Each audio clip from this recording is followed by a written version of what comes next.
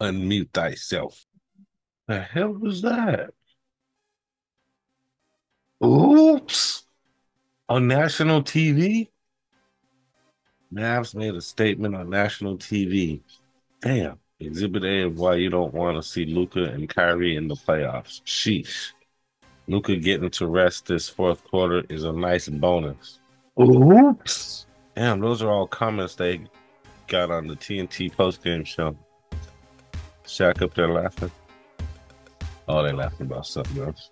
Shaq said ain't nobody watching that. On national TV, the Sacramento Kings were able to get blown out again. Ain't nobody gonna want to see them on national TV. They've been blown out on national TV a few times now. Did you see that? Mavericks went on a 15-2 run in the third quarter and just ran away with it. In Sacramento, the Kings lose 132 to 96 to the Dallas Mavericks. This brings the Sacramento Kings record to 42 and 30 and the Dallas Mavericks are now 43 and 29 and are one game ahead of the Sacramento Kings in the standings. And the Kings now drop to seventh place. Kings drop a full game below the Mavericks to seventh place. Uh, they are in a virtual tie with the Suns, who are currently in eighth place. The Lakers are in ninth, and the Warriors are still holding on to that 10th spot. Somehow the Suns have dropped all the way to eighth place. They're tied with the Kings, so the Kings cannot lose a game or they will drop to the eighth spot again. The way the Kings played last night, they played like they want to be in the play in tournament. Today is March 27th, 2024. I appreciate you joining me. Y'all back? We back. Y'all back? We definitely back. And I want to say thanks for joining me. What's going on, YouTube? And what's going on with all my folks and all you Kings fans out there? It's your guy, Jay Woods, aka Shy the Man, and I'm back at you with another episode of the Kings morning after. Midday cup of Joe with Jay.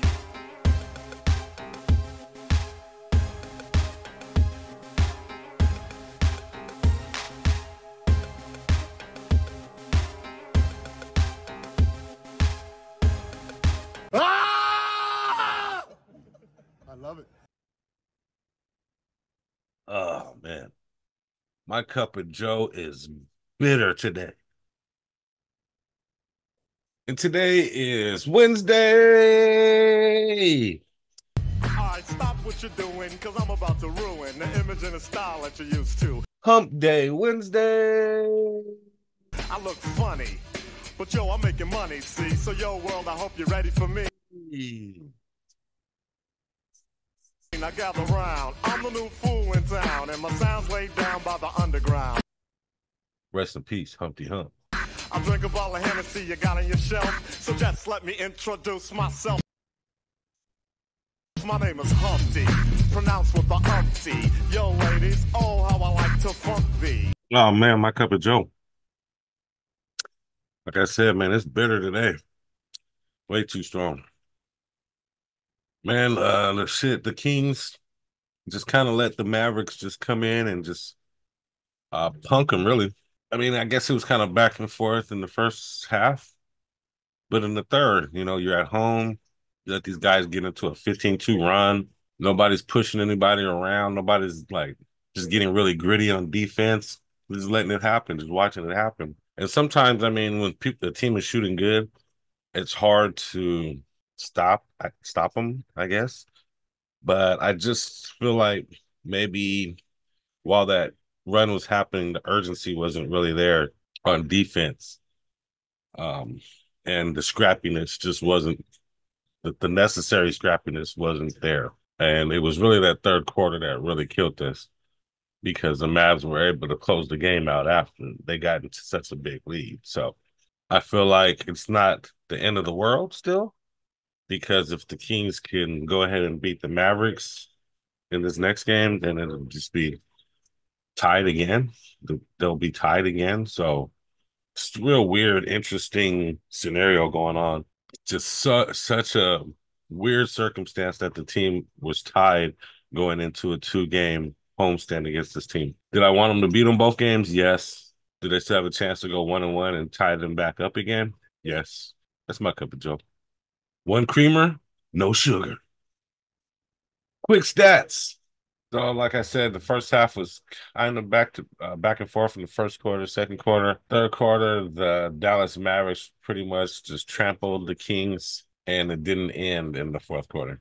Mavericks leading scorer was Luka Doncic with 28, Kyrie Irving with 24, and Tim Hardaway pitched in 22 for a big three. Double figures, Daniel Gafford had 10, PJ Washington at 14, and they had a couple other guys score off the bench. Leading rebounder was PJ Washington. Leading assist was Kyrie Irving. And for the Sacramento Kings, on a night when one, two, three, four, five guys went into double figures, low double figures, but double figures, mind you. And one of them was not Harrison Barnes. Oops. Kings leading scorer, De'Aaron Fox with 18. He was a little low in scoring on this evening. Uh, Keegan Murray was 17. Domantas Sabonis with 12. Sabonis always is our leading rebound rebounder with 11, and a lot of nights is the uh, biggest assist getter as well with nine. Not much scoring off the bench. Malik Monk had 10. He usually gets more than that. Um, and just a real down scoring night all around for the Kings. Team stats the Kings shot really bad at 38%. Dallas had 55% on the night, which is decent, pretty good three pointers. The Kings shot a decent 36%. It's okay. Not that great. But the Mavs were on fire with 56% from three. I mean, that's crazy. 22 points, which is 11 more threes than the Kings hit. You could attribute the loss to that, really. 11 more threes, that's 33 points, and the Kings lost by about 30, 36, 30, what is it? Yeah, about 36 points. Kings free throw 78. Mavs 61. The rest of the stats were about the same. Kings did have 13 turnovers, and the Mavs had 34 assists as a team for the 26 point blowout, 36 point blowout loss for the Kings. I test. eye test. eye test. eye test. The Kings need an eye test. Um, just bad shooting, man bad shooting, uh, bad defense. Nobody was able to handle Kyrie. Nobody was able to stay in front of him from Keon Ellis to Keegan Murray. Nobody that threw on him was able to stay in front of Kyrie. Kyrie did what he wanted to do. He also shot very well during that 15 2 uh, scoring uh, streak that they went on in the third quarter. So um, nobody, it didn't seem like anybody was able to hold Kyrie. And Luka Doncic, he just has his way of scoring, whether you stop him or not. He's able to spin around and just kind of shoot over most guys. So Kyrie, when I mean uh Luka Doncic, when he's hot, he's pretty hard to stop, but I mean, he's not invincible. I mean, you can get closer on them. You can kind of be a little physical with them. You can try to keep them towards the outside more. Uh, things like that, double teams, uh, different things that you can try that I don't think the Kings really tried. There was no real urgency on defense pretty much at all. Closeouts were slow, and the Kings were not going to be able to match the Dallas Mavericks shooting on that night. 56% from three is pretty ridiculous. They were hitting, they were hot. The closeouts were slow and they were not missing. The Kings were missing, and they didn't have the greatest shooting night. That's my eye test. Bottom line, the Kings morning after. Bottom line today's bottom line is bottom line is they um they're playing the Mavericks again. They're playing the Mavericks again on Friday. And that was definitely not the recipe on how to play the Mavericks. So they're gonna have to change up the recipe. They're gonna have to find the blueprint on what they need to do to play to beat this team. They should go back to the games where they beat the Mavericks. They beat the Mavericks twice already this season. Go watch the game tape on that. See what you did on that And you'll probably noticed that Luka Doncic didn't uh, have the greatest shooting night, or you know, wasn't able to shoot as well because the Kings played good defense on him. And they can't let this slip away. They can't let this thing slip away. Uh, it's a loss tonight. It's not the end of the world because they play them again. Um, it's, it's, is it a little bit more pressure on them? Maybe they need they really need to win this game, and they're back tied with the Mavericks again, and then move on and keep pushing. There's not a whole lot of games left in the season to prove themselves, so I don't know how many times I can say it, how many times I have to say it, but every game is critical. They cannot have these letdowns. They cannot have this last lackadaisical play in the third quarter that they seem to have a lot this season.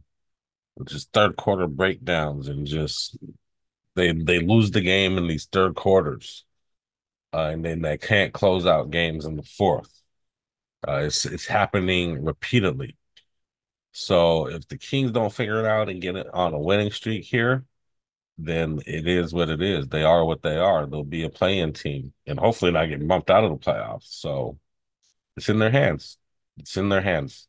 The the playoffs and the playoff seating, in my opinion, is in the Kings' hands right now. And that's my bottom line. Next up, next up, you already know. Next up is the Dallas Mavericks. Friday, March 29th in Sacramento, the Kings will be playing the Dallas Mavericks. That game is at 7 p.m. Be there or be square. And like this video and subscribe to the channel so you can see my review the next day. So go ahead and join me on Saturday. You'll see my review I'll do a, re- a, review of that of that game on Saturday. So please subscribe so you can see that. Keys to win the Mavs. The Kings cannot go into panic mode where it looked like they started going into panic mode during that game to get the loss against the Mavericks. They cannot go to panic mode. They need to go ahead and decide their defensive game plan and put the most focus on Luka Doncic for one and Kyrie Irving for two who's going to guard those guys, and what is going to be the strategy for double teams and for switches and things like that. Get it together. Do it now. Watch the games where you guys beat them. They're going to have to play those guys pretty much after half court. I mean, whoever guards those two guys is going to have to play them from half court. And then obviously, Kyrie's obviously a threat to drive. They need to communicate their switching plan and their helping plan um, they need to kind of be in the right position or decide what position they're going to be in on defense for most defensive possessions because they're going to need help defense. They're going to need guys to D up closer and they're going to need more urgency on defense to beat this Dallas Mavericks team. They came out with urgency. They came out like pros, like they had a goal in mind of getting over these Kings, and they did that. And the Kings did not seemed like they had a plan or intensity or urgency in that game. So that's what they'll need this next game on Friday. Betting line, there's no betting line for the game, obviously, because it's on Friday. It's too early, but there are other games going on tonight um, and tomorrow, obviously, that you can bet on. If you want to do some sports betting, go ahead and click the link below. Uh, I use Bet Us or Bet US it's a great site. Um, I'm in California that allows me to bet here. Some app, apps don't let me bet. Uh, so go ahead and try that sports book out. Bet us. The link is in the description below. I got a question for you. Are you worried? Are you worried about the Kings positioning right now for the playoffs? Are you will you be worried if they are in a play-in situation? Do you think it's pretty much over for the Kings at that point? I feel like they need to be in the sixth spot. So leave a comment. Let me know what you think. Are you nervous about their playoff seating at this point? And what do you think their outcome will be if they're a playing team? Make a comment. If you make a comment before I make the next video, I'll post your comment on the next video. So go ahead, get to it, make a comment. And please, guys, like the video if you're still watching. You must have liked something. The uh, content must have been halfway okay. So please click that like button. Help me out. Help me kick the algorithm's ass by clicking that like button and also, if you like talking Kings talk, you like hearing Kings talk, you like Kings news, anything like that, uh, go ahead and subscribe. I'm going to be doing some top fives. I'm going to be doing some other entertaining stuff. I'm going to do some documentary type stuff as well. And we're going to do some live stuff too, some live chat and some live game watch. So uh, click the subscribe button. It's going to be fun. Trust me. I'm new, but I'm getting better and I'm growing. So you're going to want to be part of the community. Subscribe. And also, please, I ask that you share the content. If, uh, if you like anything I said, or even if you didn't like anything I said, share the content. It'll help me out as well. Say, hey, there's a new Kings blog out here, new Kings blog. Check this guy out. Or you could say I'm trash. I don't care. Just share the content for me. I appreciate it. And make a comment. It helps me kick the algorithm's ass. Thanks. Hey, and I have a motivational quote for you guys today. And it goes like this. Uh, this is by Theodore Roosevelt. Believe you can and you're halfway there.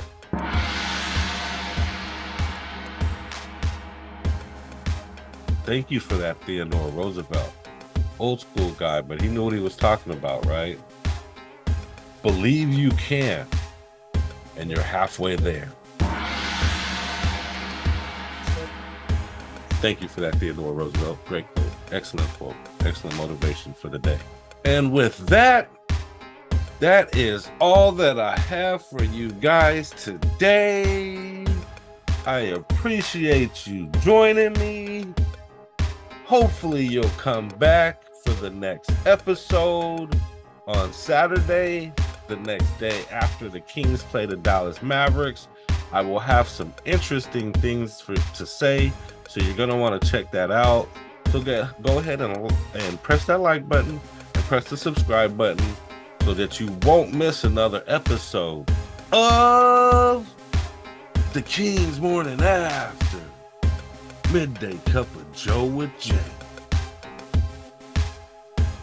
All right, guys, and with that, I'm out. But before you go, check out my moves.